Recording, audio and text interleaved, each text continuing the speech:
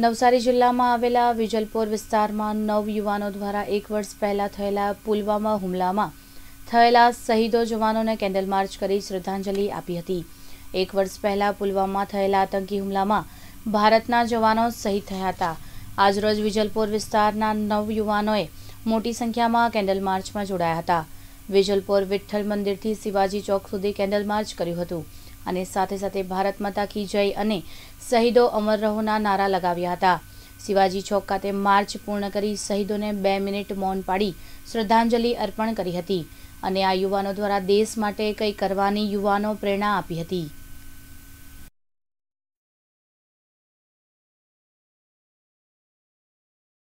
ગણેશ કોળી વિજલપુર શહેરમાં રહું છું. આજ રોજ એક વર્ષ પહેલાં પુલવામા જે હુમલો થયો હતો આપણા ચાલીસ જવાન શહીદ થઈ ગયા હતા. તે જ શ્રદ્ધા, તેમની શ્રદ્ધાંજલિને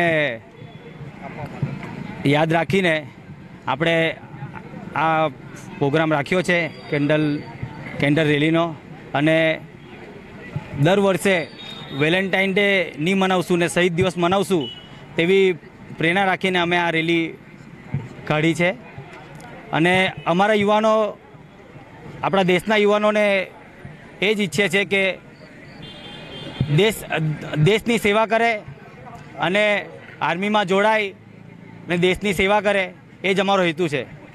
બે હજાર ઓગણીસમાં જે પુલવામા અટેક થયેલો, કે જેમાં આપણા ચાળીસ કરતાં વધારે જવાનો એકદમ ખરાબ રીતે જે શહીદી જ વહોરેલી હતી, પણ જે પાકિસ્તાન દ્વારા જે કૃત્ય કરવામાં આવેલું આતંકવાદીઓ થ્રુ આપણે એમની શહાદત એ ન જાય એના માટે આજે નવસારીમાં એક રેલીનું આયોજન કરેલું હતું મસાલ યાત્રાનું. અને એ જવાનોની શહાદત, જ્યારે કોઈ પણ જવાન છે જેની શહાદત ભૂલી જવામાં આવે ને, એ સૌથી ખોટું કામ થતું હોય. આપણે એ શહાદત ના ભૂલાય, એના માટે એ શહીદીને યાદ રાખવા માટે.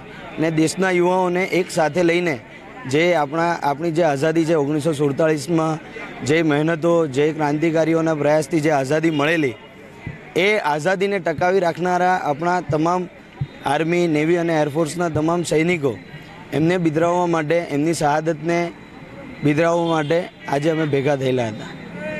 અને આ રીતે એમને શ્રદ્ધાંજલિ અર્પી.